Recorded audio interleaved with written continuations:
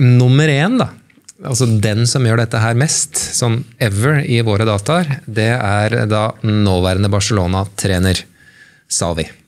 Så han eh, lå på, vi har filma han flere ganger, eh, og han ligger på en frekvens som er godt over 0,8. Ja, det er heftig. Som betyr altså han har 8, dvs. Si 8,3 er det offisielle tallet vårt, eh, eh, scans, eller søk, per eh, 10 sekunder. Åtte søk de siste ti sekunder. Og så kan jo enkeltspillere gjøre dette her i enkeltsituasjoner. Det skjer vi jo ofte. Mm. du har én situasjon på banen der en spiller bare skanner helt vilt. Men Savi gjør jo dette her gjennom en hel kamp. Og når han spiller for Barcelona, så får jo han ballen 80 ganger i løpet av en kamp. Så han gjør det veldig veldig regelmessig. Så det er, et- det er et skyhøyt tall.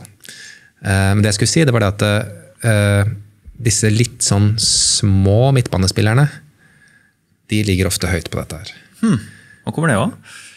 Ja, det, jeg tror det er så enkelt som at de, de må jo kompensere litt. Da. De kompenserer for manglende fysikk og, dette her. og de er nødt, altså Hvis ikke de har Det det hvis ikke de har veldig god oversikt når de får ballen, så blir det jo eh, Da blir det jo kjørt. Jeg Da jeg tenkte det sånn. Forhistorisk sett, da, så det er kanskje de minste må kikke seg mest over skulderen, at de ikke blir grisehjult eller drept av en av de her svære goliatene som flyr, fly rundt her. Så kanskje ligger i eh, små, lille, lillemanns DNA at du må bare kikke ja, over skulderen. ja, ja, ja, det gjør det. Og, det, og det, du kan jo dra det der videre òg. Min- min teori.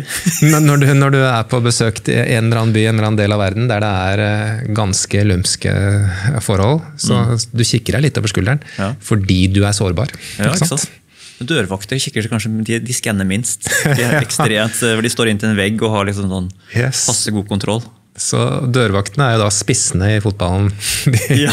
veldig fokusert på det er dette som gjelder, det er den dør eller den personen foran meg som gjelder. Ikke behov for å skanne. Så de Sånn- skanner minst.